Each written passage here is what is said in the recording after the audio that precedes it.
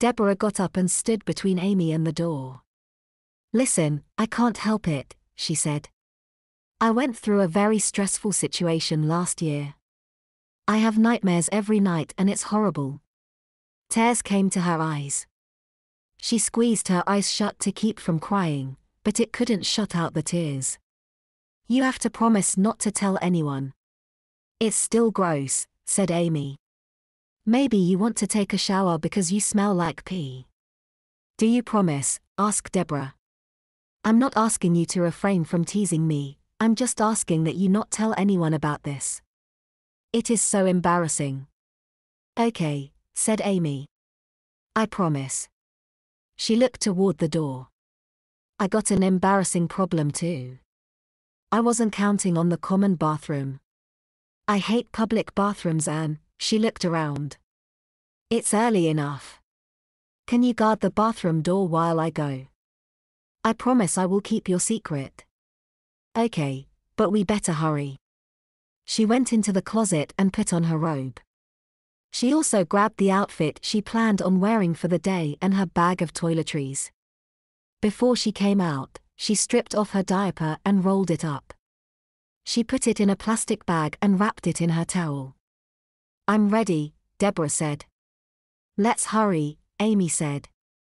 She put one hand over her butt for a second before they went into the hall. Thank goodness no one is in there, said Amy. Wait by the door and please don't listen to anything. Deborah stood in front of the doorway feeling foolish. She smelled herself, a mix of sweat and pee. Her hair felt matted and gross and her t-shirt stuck to her skin where she had soaked it with her sweat. She also had the wet diaper and new diaper hidden in the folds of her clothes and towel. It was only a matter of time until someone discovered her holding them. She almost screamed when a hand tapped her shoulder. I'm done, said Amy. You can come in now. Amy's face had turned bright red. It's so embarrassing. I overate yesterday. Deborah hurried into the bathroom, deposited her used diaper into the garbage and hopped straight into the shower. She had just gotten wet when Amy called from the next shower stall. On the bright side, the water is hot. I expected it to be cold, she said. One thing went right today, said Deborah. She let the water rinse her pee and sweat down the drain.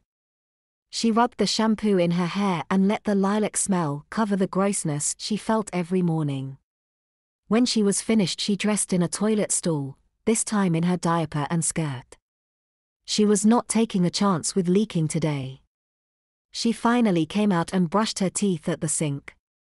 Amy was just finishing flossing when Deborah came out. Ready for another day? asked Amy.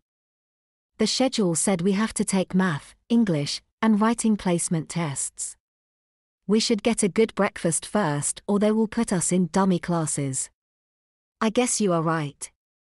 Deborah dragged her comb through her wet hair. She winced a bit as a tangle got caught in the teeth, but then had it under control. Allison's hair was longer than her old hair had been and it was much harder to take care of, but she liked how it looked and had never cut it. Amy spent a longer time on makeup than her, so Deborah was able to finish at relatively the same time. Ready for food? asked Deborah. Of course, Amy replied. After dropping their stuff off at the room, they took the elevator downstairs for an early breakfast.